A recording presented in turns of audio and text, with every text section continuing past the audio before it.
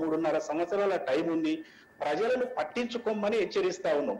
ప్రజలకు కావలసిన బాగోగులు చూడమని హెచ్చరిస్తా ఉన్నాం. అంతేగాని అబ్రకదబ్ర మాటలు చెప్పి మభ్య పెట్టే మాటలు చెప్పి ఏదో నేను అది చేస్తా ఇది చేస్తా నేను నాలుకకు ఇంత తేనె రుద్దుతా అంటే ఈ రోజు ప్రజలకు నీ విశ్వరూపం నిజ స్వరూపం తెలిసిపోయింది. నువ్వు ఏమి చెప్పినా నమ్మే పరిస్థితి లేదు. నువ్వు ఎల్బీ స్టేడియంలో మీటింగ్ పెడితే నాలుగు వందలకు ఐదు వందలకు అడ్డాపులి అని కొనుక్కొచ్చి అందులో పెట్టుకోవాల్సిన పరిస్థితికి దిగజారిపోయినావు.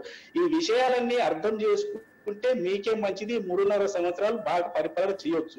లేదు అని అంటే నేను ఒకటే సూటిగా చెప్తా ఉన్నా. మీరు ఖచ్చితంగా తట్టబుట్ట చదువుకొని తాళం పెట్టె మీద పెట్టుకుని సంకలు పెట్టుకుని రెడీగా ఉండి మూడు ఇంకో మూడున్నర సంవత్సరాల తర్వాత ఇంటికి పోతేందుకు రెడీ ఉండాలి కాబట్టి BJP is ready to take over Telangana Right, right, Narasimha Goud garu. Clear indication whether we get to 80 or 40 or uh, whatever it is, that the seat sharing ratio is very much higher than the TRS. ఎందుకంటే. Seven percent ఎక్కడ thirty two thirty three percent ఎక్కడ అండి ఎంత అసంతృప్తి ఉంది ప్ర- ప్రజలలో కాబట్టి ప్రజలు మా వైపు ఉన్నారు అసదుద్దీన్ ఓవైసీ అక్బరుద్దీన్ ఓవైసీ కేసీఆర్ కేటీఆర్ నలుగురు ఒక్కటే రైట్ నర్సయ్య గౌడ్ గారు ఒక్క నిమిషం ఒక్క నిమిషం మీరు లైన్లో ఉండి నర్సయ్య గౌడ్ గారు. కాబట్టే మాకు ఓట్లేస్తా Right. ఉన్నారు ఇది గుర్తించైనా ఇప్పటికైనా ప్రజలకు అన్ని రకాల సహాయ సహకారాలు కరెక్ట్గా చేయాలి. ఫ్లడ్ మేనేజ్మెంట్ అని అందరికి పదివేలు ఇవ్వమని చెప్తే ఈయన పోయి టిఆర్ఎస్ కార్యకర్తలకు ఇచ్చుకుందు ఇది ఎంతవరకు సమంజసమని ప్రతి ఒక్కరు కూడా అడుగుతా ఉన్నారు.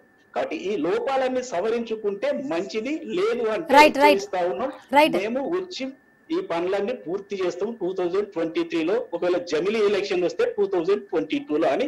కేసీఆర్ బరాబర్ హెచ్చరిస్తా రైట్ రైట్ నరసయ్య గౌడ్ గారు. అయితే మొత్తానికి చూసుకున్నట్లయితే జిహెచ్ఎంసీ ఎన్నికల పోరు ఒక రకంగా ఉత్కంఠగా నెలకొంది. అయితే కొన్ని డివిజన్లో అయితే టీఆర్ఎస్ వర్సెస్ బీజేపీ అన్నట్లుగా తెలుస్తుంది. మనకు ప్రస్తుతం అందుతున్న ఇన్ఫర్మేషన్ ప్రకారం తొలి రౌండ్లో అయితే టీఆర్ఎస్ ఆధిక్యం సంపాదించినట్లుగా బ్రేకింగ్ న్యూస్ అన్- చూస్తున్నాం మనం. అట్లాగే మరోవైపు కూడా మెహదీపట్నంలో ఎంఐఎం గెలుపు తథ్యం అన్నట్లుగా మనకి సమాచారం అందుతోంది. అట్లాగే సో ఉత్కంఠగా ఎదురు చూస్తున్నాం. గ్రేటర్ కౌంటింగ్ ఏ విధంగా కొనసాగుతుందని అయితే మరికొన్ని గంటల్లో అయితే ఏ పార్టీ ఆధిక్యాన్ని సంపాదించుకుంటుందో మనకి క్లియర్గా అయితే ఒక ఇన్ఫర్మేషన్ వచ్చే అవకాశాలు కనిపిస్తున్నాయి. అయితే గ్రేటర్ ఎన్నికల ఓట్ల లెక్కింపులో కూడా తొలి రౌండ్ ఫలితాలు కూడా వెలువడే మనం బ్రేకింగ్ న్యూస్ చూస్తున్నాం. ఐ న్యూస్ స్క్రీన్ మీద అలాగే మెహదీపట్నంలో కూడా ఎంఐఎం గెలుపు ఖరారు చేశారు. అట్లాగే ఎంఐఎం అభ్యర్థి మాజిద్ హుస్సేన్ విజయం సాధించినట్లుగా తెలుస్తోంది. యూసఫ్ గుడిలో అటు టీఆర్ఎస్ అభ్యర్థి రాజ్ కుమార్ పటేల్ కూడా గెలుపొందారు. అయితే